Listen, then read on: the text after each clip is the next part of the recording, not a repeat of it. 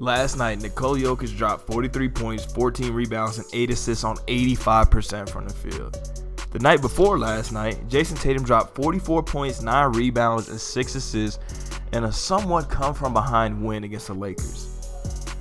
And A couple nights ago, Joel Embiid dropped 53 points and 12 rebounds en route to another huge night for him.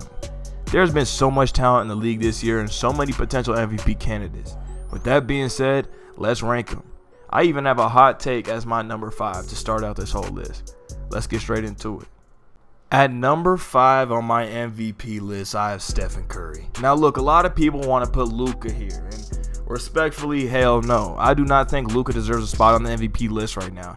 He's averaging 33 or whatever the hell he's averaging, but to tell you the truth, he's not, not having a better season than Stephen Curry. And also, Stephen Curry has the same record as Luka Doncic. People earlier in the season were say, saying Luka should be MVP because he's having great stats with a good amount of winning. Well, now Luka is below 500. What amount of winning is he amounting to? And although Stephen Curry is also below 500, 30 points, 6 rebounds, 7 assists on 67% true shooting percentage is one of the most efficient point guard seasons we've ever seen. Although Luka has been really good this year, one thing that he has not been in the past is very efficient. He's been efficient, but not compared to Stephen Curry. Stephen Curry is either the first or most consistent and most efficient scorer of all time.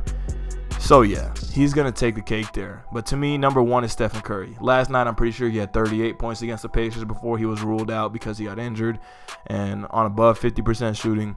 Stephen Curry's been shooting the lights out this season. It's not like it's anything new, but to me, he has been better than Luka Doncic this season, and that should not be seen as a hot take. To me, he is number five in the MVP race and not Luka Doncic.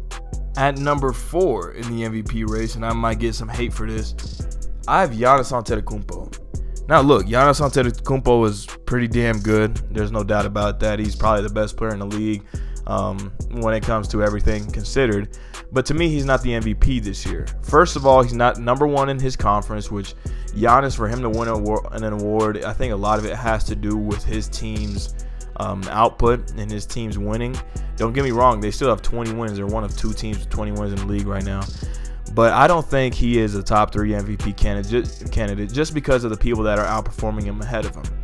I also think that his roster, well, even though people are going to hate me for saying this, his roster is stacked. You know, if you have Bobby Portis, Khris Middleton, Jrue Holiday, and a very deep bench, you're going to perform. And Giannis has been performing 31 points a game, 11 rebounds, 5 assists, 58% true shooting percentage, which is just a tick above league average.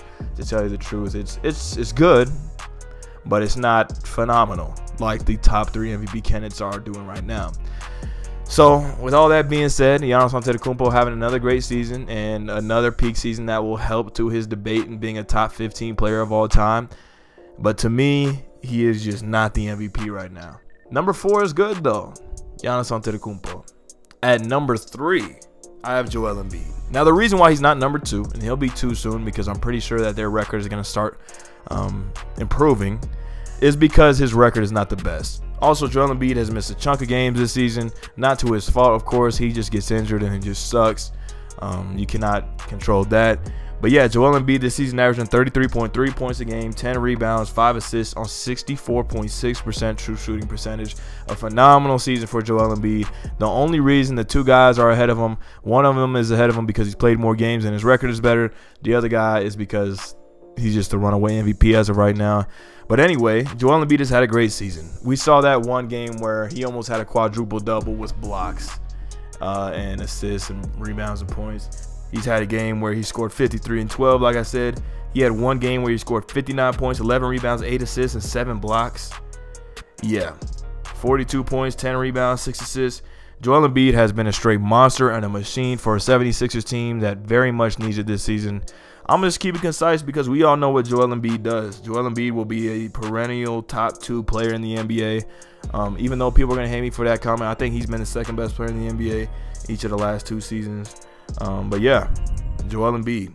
All right, now, and number two in MVP to me is Nikola Jokic. Now, look, I don't think he's going to win the MVP this year no matter what he does unless he starts to go on a tear where he's averaging like probably 28, 13, and 10, then it's like, okay, it's so ridiculous. You got to give it to him. And if he's a one seed along with that, you kind of have to give it to him.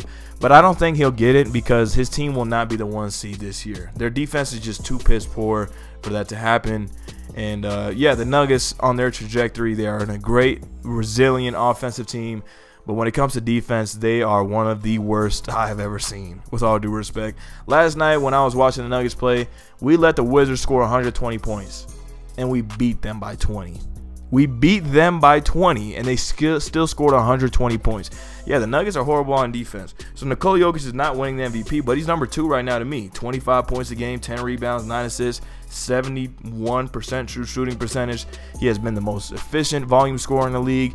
And listen, just to put this in retrospect, efficiency is uh, graded by true shooting percentage to me.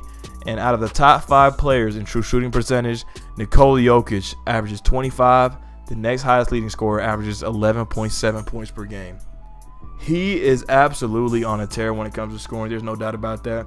He's actually the second most efficient scorer in the league behind Grant Williams, who's averaging a solid nine points a game, which that's nice, but that's a third of what Jokic is doing right now. But yeah, Nikola Jokic. And at number one in a landslide right now, although his efficiency doesn't look the greatest, is Jayson Tatum. What I mean by his efficiency doesn't look the greatest is what the way that I look at superstars. I base their efficiency off of the comparison to other superstars. I don't do it compared to league average because you should not be at league average efficiency if you're a superstar, to tell you the truth. And yeah, Jayson Tatum this year averaging 30 points a game, 8 rebounds, 4 assists on 61% true shooting percentage. That makes his efficiency look pretty average slash mediocre for a superstar. Nonetheless, it's still great, don't get me wrong. The reason why Jayson Tatum's MVP to me this year is because, first of all, his defense has been amazing. I think it's even taken a step up. Uh, the, the Boston Celtics, as a team right now, are not performing the best defensively. They're around league average. And yeah, Jayson Tatum, he's been the rock of the best team in the league. I mean, the Boston Celtics might run away with the championship this year and just nobody will think twice about it. You know, they've kind of quite literally been the most dominant team in the league. Anyway, with all due respect, Jayson Tatum should win the MVP this year as long as he keeps this stride. Thank you guys for watching. Make sure to leave a like, subscribe, turn on post notifications. And yeah, peace out. Come on, I got a bag on me. You try to take it, leave you stinking like your last homie. She kinda cakey, little baby, put that ass on me. But I ain't that horny. Do you got some cash for me? Why every time you ask him that, bitches act funny. And you keep trying to hold the strap, you won't slap for me. You too happy, I can tell you never had money. Every time you get on live, gotta flash money.